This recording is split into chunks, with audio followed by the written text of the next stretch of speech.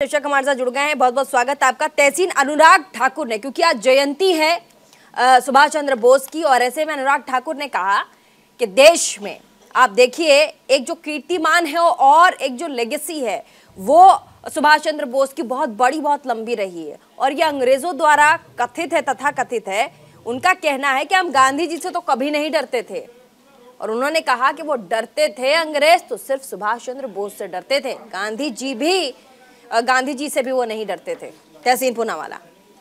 गोडसे जिंदाबाद के नारे लगाने वाले आरएसएस और भाजपा के एमपीज और मिनिस्टर्स को गंभीरता से नहीं लेना चाहिए। ये दीनदयाल उपाध्याय व्हाट्सएप यूनिवर्सिटी से ग्रेजुएट होते बाहर आते हैं।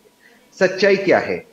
बोस को, क्योंकि सुभाष चंद्र बोस हम सबके हैं, उनको ऊँचा दिखाने के लिए गांधी को नीचे दिखाने की आवश्यकता नहीं है।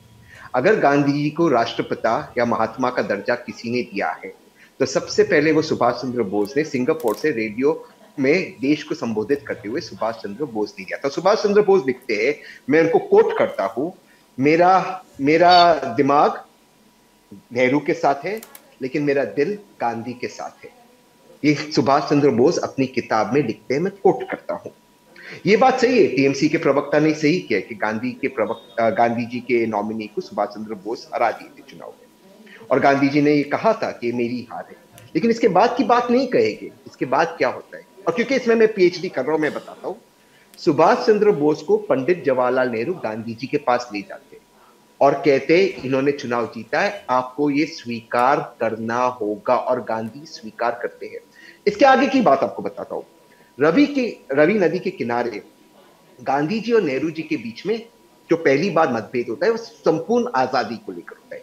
नेहरू कहते हम अ, कराची डिक्लेरेशन और लाहौर डिक्लेरेशन में संपूर्ण आज़ादी की मांग करेंगे और गांधी कहते हैं, अ, हम इसकी संपूर्ण आज़ादी की मांग नहीं करते नेहरू का साथ देते सुभाष चंद्र बोस रवि के किनारे तिरंगा को लहराया जाता है और सुभाष चंद्र बोस कहते हैं मैं कोट करता हूँ गांधी के बाद अगर इस देश का कोई बड़ा नेता है वो है जवाहरलाल नेहरू। आईएनए में जो उनके यूनिट्स थे वो किसके नाम किसके पीछे उनके नाम रखे थे? गांधी नेहरू और जब उन, जब लाल किले पे ट्रायल हुआ, उनको डिफेंड करने के लिए एक व्यक्ति आया था, पंडित जवाहरलाल नेहरू। और क्या खूबी से डिफेंड किया? वो ट्रायल पढ़ना चाहिए। जजेस खड़े हो गए थे जवाहरलाल नेहरू का का डिफेंस सुनकर। और कुछ लोगों को सजा से बचाए थे। ये सच्चाई है। लेकिन दीनदयाल उपाध्याय व्हाट्सएप यूनिवर्सिटी में पढ़ने वाले चाहे अनुराग ठाकुर जी हो या कोई और हो उन्होंने ना इतिहास पढ़ा है ना बोस की कोई किताब पढ़ी है। आगे मैं आपको बोस को कैसे आरएसएस ने धोखा दिया वो भी बताऊँगा। ठीक है अश्विनी मिश्रा हमारे साथ राजनीतिक विश्लेषक। जी। बोस की लेगेसी को भुनाना क्या होता है? जी मैं जानना चाहती हूँ जी पहले तो मैं अपने मित्र पूना वाला से कह दूँ कि पंडित दीनदयाल उपाध्याय व्हाट्सएप यूनिवर्सिटी नहीं है। पंडित दीनदयाल उपाध्याय बनारस हिंदी यूनिवर्सिटी है जहाँ पे आई आईआईटी और मेडिकल और आर्ट्स के बहुत अच्छे स्टूडेंट्स पास होकर बहुत सक्सेसफुल तरीके से देश की सेवा कर रहे हैं तो उस यूनिवर्सिटी को बदनाम ना करें।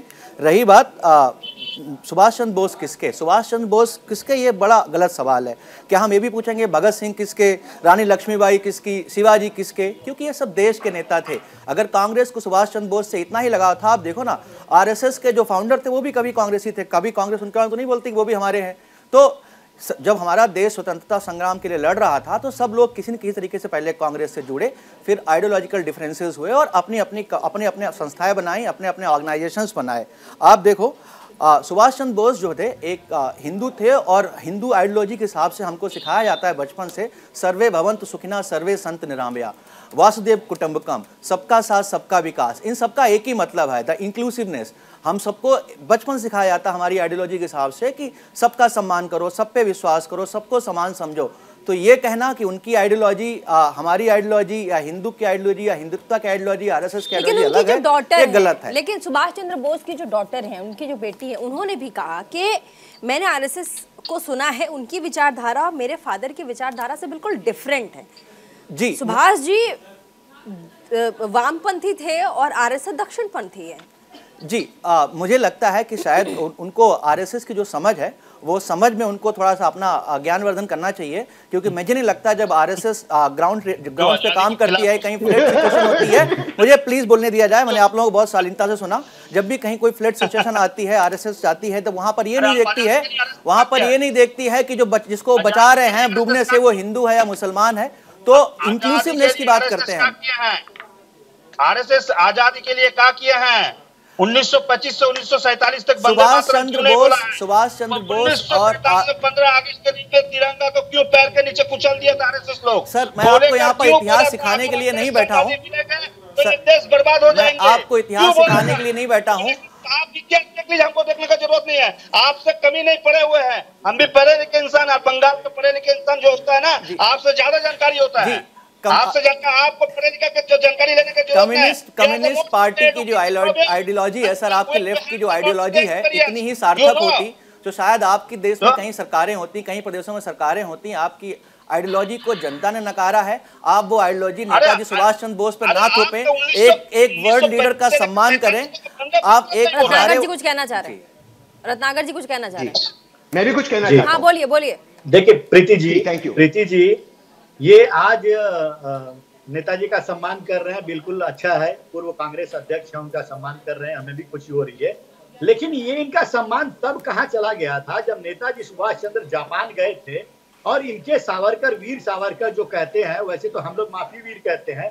वीर सावरकर जो है लोगों को जो है उनके कैंप में ले जाकर के अंग्रेज़ों के कैंप में ले जाकर भर्तियाँ करा रहे थे। तो आप सोचिए एक व्यक्ति जो जंगे आज़ादी की लड़ाई लड़ रहा है और आरएसएस जैसा संघ हिंदू महासभा जैसा संघ उसके विरोध में काम कर रहा है। तो ये कौन नेताजी के विचारधारा पे चलता है और कौन उनके अगेंस्ट में चलता है ये सब देखने वाली चीज़ है। अब रही बात जहाँ पे आ, आ, अ,